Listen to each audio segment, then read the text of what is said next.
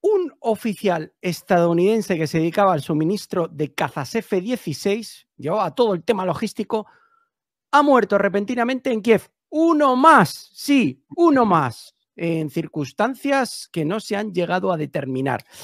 Paso a leer la información. En Ucrania se han publicado datos sobre la identidad de un empleado de la embajada estadounidense, por cierto, con un pedazo de currículum, lo vamos a ver ahora, cuyo cuerpo fue encontrado en el Hotel Hilton. ¿Cuándo? El 24 de junio de este año.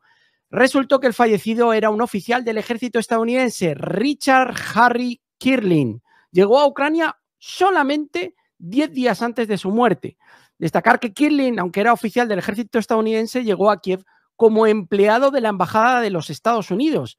Según algunos informes, era él quien se encargaba de la logística del suministro de cazas F-16. Recordad que en la cumbre de la OTAN han dicho que esos cazas iban de camino hace nada. Se desconoce la causa oficial de la muerte del oficial del ejército de Estados Unidos. Sin embargo, algunas fuentes, podéis eh, pensar lo que queráis, informan que se encontraron niveles anormalmente altos de colesterol en su sangre. Sospechoso. La prensa ucraniana concede más importancia a la impresionante trayectoria de Richard Harry Kirling. Sirvió en la Fuerza Aérea de los Estados Unidos, luego trabajó en el campo de la tecnología, la información y la logística, tuvo una estrecha relación con el Comando Central de las Fuerzas Armadas y luego sirvió en el Departamento de Defensa de los Estados Unidos. El último lugar de trabajo de Kirling fue el Departamento de Estado. No es, ni mucho menos, la primera muerte extraña de un alto oficial de alto rango del ejército de los Estados Unidos. En los últimos años se han registrado varios casos. Soldados de carrera experimentados han fallecido como resultado de accidentes de tráfico, enfermedades que no son graves, etcétera. En fin, Alberto, el currículum lo traemos aquí, fijaos, no voy a pasar a leer todo, pero fijaos qué pedazo de currículum y en extrañas circunstancias, ahí lo tenemos. Bueno, extrañas circunstancias son en realidad muy poco extrañas circunstancias ya hemos visto la retaíla de ex, altos mandos del ejército estadounidense que están muriendo. Es mucho más peligroso ya no estar en el ejército que estar. Es decir, se supone que tú dentro del ejército corres más riesgos. Bueno, pues no. Corres más riesgo habiendo salido del ejército. Y es que para Estados Unidos es tremendamente sensible la muerte de su personal en activo. Con lo cual a Ucrania se está enviando a personal ya en principio en la reserva, retirados. ¿Cuál es el problema?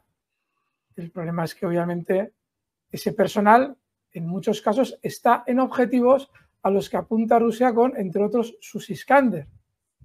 Bueno, hemos visto que en el pasado, cuando muere un general retirado en Ucrania, nos lo ponen con su cadáver en Miami o en Florida o en cualquier otro sitio en el que no se especifican las causas de la muerte.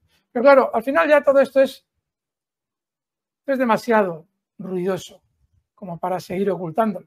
Con lo cual ahora ya empiezan a admitir que el fallecido está en Kiev. Claro, está en Kiev, pero no es que le haya caído un escándalo en la cabeza, no. Es que se le ha producido un infarto o cualquier otra circunstancia que de algún modo niegue la realidad. Y es que, obviamente, Rusia está terminando con prácticamente todos, no solamente los soldados ucranianos, sino con los enviados a la zona por parte, en este caso, de Estados Unidos. Y aquí surge algo muy interesante, porque estamos negando o están negando que envían tropas, pero estamos viendo que envían a personal cualificado del ejército, aunque sea retirado. Hay una gran diferencia entre lo uno y lo otro. Es decir, no es otra forma de participar, cuando se decía que enviar tropas francesas por parte de Macron sería escalar el conflicto, ¿acaso no lo es enviar a militares retirados de Estados Unidos? ¿O es que alguien se cree que ellos van por su cuenta y riesgo? ¿Que van de turismo y mueren allí? No, obviamente irán o bien a operar sistemas armamentísticos estadounidenses o, como en este caso, a organizar la llegada de los F-16. Vamos, que lo único que diferencia enviar tropas estadounidenses y que este señor esté en el terreno es que este señor se ha jubilado, pero toda la intendencia, toda es exactamente la misma. Y claro, muere de un ataque al corazón o de lo que sea en Kiev. Y nosotros nos lo tenemos que creer. En fin, amigos magos, poned por favor en comentarios qué es lo que os parece. A mí personalmente me parece patético. Uno más que ha eliminado Rusia y uno menos que ir al terreno. Miguel, súper interesante. No sé lo que piensas tú. Bueno, pues otro caso más de esos extraños. Además, no, ¿por, qué no comentan nada? Hay un hermetismo brutal al respecto. Por lo tanto, y, no y nos dicen lo del tema del colesterol, que es, que es que yo no sé cómo no les da vergüenza. Claro. En fin. Se, le cayó la lentilla. Es que son, además que son razones ridículas. Estás hablando de militares, estás hablando de gente que probablemente esté en buena forma por mucho que se haya retirado ya. Estás hablando de que son objetivo prioritario de Rusia. Sumas 2 más 2 y no sale 7, sale 4. Y como, como, comentabas ayer con buen criterio, Alberto, considerados elementos prescindibles, porque fíjate el servicio que ha proporcionado este señor a Estados Unidos, el, el currículum que tiene encima, y aún así Muerte en extrañas circunstancias. Qué casualidad se ocupaba de la logística de los F-16. Claro, claro. Si realmente seguro que están muriendo muchos más estadounidenses que no tienen un rango tan alto.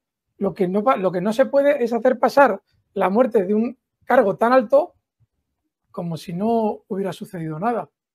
Pero seguro que hay mandos intermedios ya jubilados que están cayendo en Rusia, de, perdón, en Ucrania como moscas.